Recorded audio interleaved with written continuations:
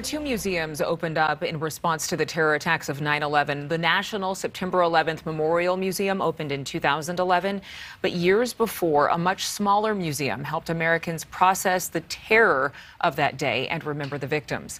Opened in 2006, the 9 11 Tribute Museum is now on the verge of shutting down. Paul Gerke is live there with more. Paul?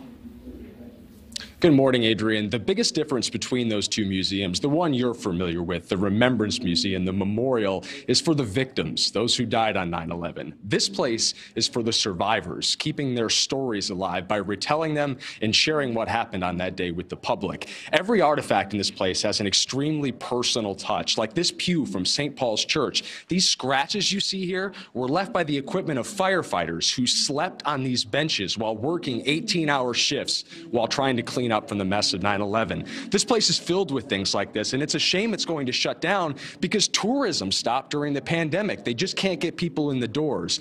But volunteers keep coming here. Gordon Huie is a docent here at the museum. You have a very personal connection. Would you mind sharing it with us as we look around and sort of show off some of the other really human connecting elements in this place? Sure. I'm what we call a triple. I'm the only recorded triple in the history of uh, New York City as it relates to 9 11.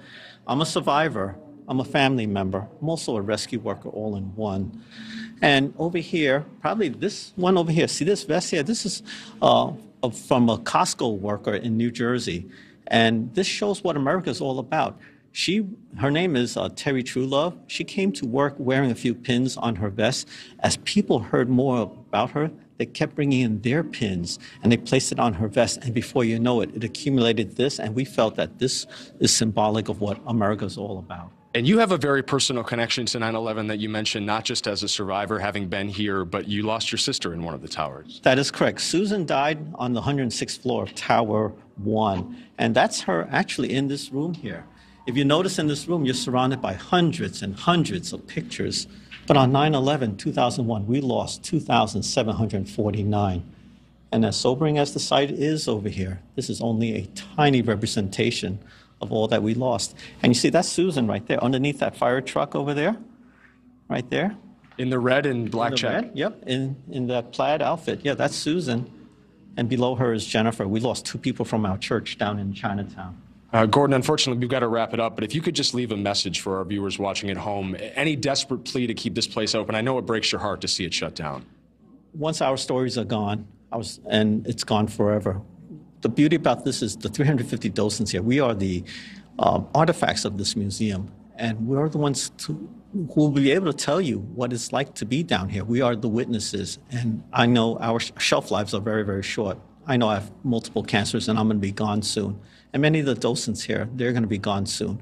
That's why we want to tell as many people as possible about this museum. Uh, it would be such a travesty because we believed in that, that two words, never forget. And that resonated through our country for 20 years. And now it seems like everyone's forgotten. Gordon, thank you so much for sharing your morning with us and oh sharing oh some gosh. of these stories. Adrienne, back to you in Chicago. What a beautiful man. I just hope that so many people give to keep this museum alive. Thank you so much, Paul. Thank you so much for watching. Make sure to click on the red subscribe button below so you can get more of NewsNation's fact driven, unbiased coverage.